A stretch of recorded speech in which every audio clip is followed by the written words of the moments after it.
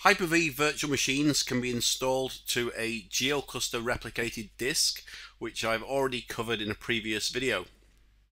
On the screen I have Failover Cluster Manager and you can see I have a virtual machine that is running um, and that is installed to a GeoCluster replicated disk which is actually the F drive on two separate Hyper-V nodes that each have their own storage. There is no shared storage when we're using a GeoCluster. This does of course mean we can create a very low cost, highly available Hyper-V GeoCluster. I'm just opening up the disks, the F drive on the two nodes in the cluster. We can see the folder what that contains the virtual machine and all the configuration settings and snapshots for the virtual machine. Now if I go to my active node and create a new file on the GeoCluster replicated disk, you can see I can easily create a new file and it's almost immediately replicated to the passive node in the cluster. Now if I attempt the same um, process on the passive node, you can see I am denied. I, I have no access to write to that disk. If I delete the file from the active node, it will again be deleted from the passive node in the cluster. I can browse the folder that contains my virtual machine. I can see I've just got a single VHD file for this virtual machine, some configuration files, etc. And that is uh, obviously duplicated on the passive node in the cluster. What I'm going to do is actually open up the uh, Hyper-V console for this virtual machine and I'm going to create a snapshot and we'll see the snapshot folder gets created, the snapshot gets created, and it will appear on both the active node and the passive node. In fact, you can actually see it's appeared in the background already.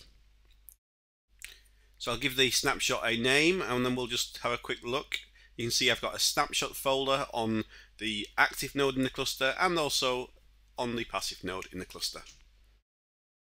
What I'm going to demonstrate now is a live migration of the Hyper-V virtual machine between two nodes in the cluster. So the two nodes in the cluster are separated by a network link, which is I think about 10 megabits. And we are going to do a failover between the two nodes in the cluster. First of all, I'm pinging. I've set up a continuous ping inside the virtual machine. It's simply pinging its default gateway. Now, on my uh, management machine, I'm just going to set up a continuous ping to ping the clustered virtual machine.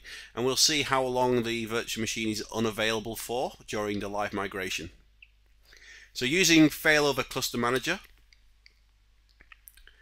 I'm just simply going to select my virtual machine and say live migration to another node in the cluster, which is node number two. Now we'll see the mi live migration begins uh, as memory is transferred between the, the two nodes and the server is up and running, it's responding to ping, users are still accessing and working on the live server. Now this is in real time, um, so we can see we have been disconnected from our existing connection to the uh, original Hyper-V host, but immediately we can reconnect and we can see the virtual machine itself has not skipped a beat. It does not think it's it's been down at all. My management workstation did detect this a small timeout and we've got a, a couple of missed ping responses. What's happening now is double take the GeoCluster replicated disk is now remirroring back to the original disk. So the active and passive roles have swapped around and we're just doing a block checksum remirror to verify consistency of the data. We need to wait for that mirror to complete before we could fail over again. So live migration is nice, but what about if we actually had a, a server failure with an unplanned uh, failure of one of the hosts in the cluster. Now I've devised a small test here. I have a, a, a, batch file that I'm looping around that is basically doing a net time command to a text file every few seconds. It's basically just continuously looping. So I, I get a, an updated time in my text file about every three or four seconds. So this is um, in real time. I'm going to just uh, display the clock, the Windows clock, and we can see the second hand uh, slowly counting up. What I'm going to do to simulate a failure is stop the cluster service on the active node in the cluster. This will cause a cluster failure and the Hyper-V virtual machine will be restarted on the target node. So as soon as it hits 12, I'm going to stop the service. Okay, there it's gone. We can actually see straight away the uh, virtual machine has, has grayed out and it is now restarting on the active node in the cluster. I'm going to uh, speed up the video now because we've all seen Windows Boot before. We still have the text file and the thing, the key thing is to look at the time in the text file to see what time is, is written in that text file, which gives us an indication of how much data loss there may have been in the, uh, in a real life failover. Remember the text file was being updated every three to four, five seconds. It was a continuous loop so we'll get a good indication of how much data loss we may have encountered during a cluster failure. All I need to do is open up Windows Explorer, find the file that was uh, being updated and see what time it says.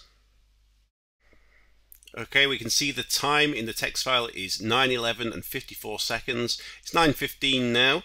Um, obviously Windows took a little while to boot up, but the point being the cluster was destroyed at 9.12 exactly. So we've got six seconds there. We've got the looping file basically showing that uh, the double-take real-time replication engine is not losing us any significant amount of data.